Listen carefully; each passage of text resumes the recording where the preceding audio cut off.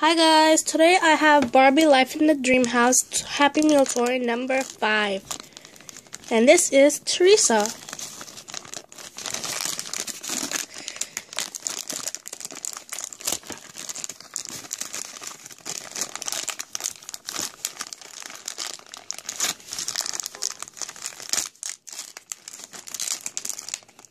Oops. So she is harder to open than other Happy Meal usually are because she's a person.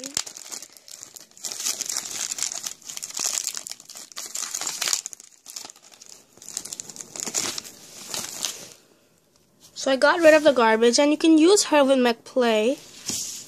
And this is how she looks. And as you can see, her hair is really messy right now.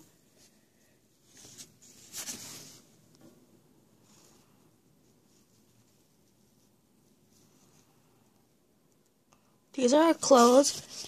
If you see if you move her leg, it looks pretty weird.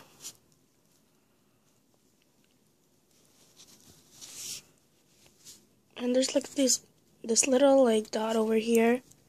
I don't know why. And you can see that and they should have fixed that. And this is just the back over here. You can also move her head. You can move, you can't move her arm. You can move her legs.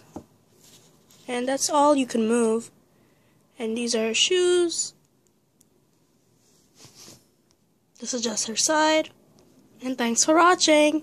Bye. Please subscribe.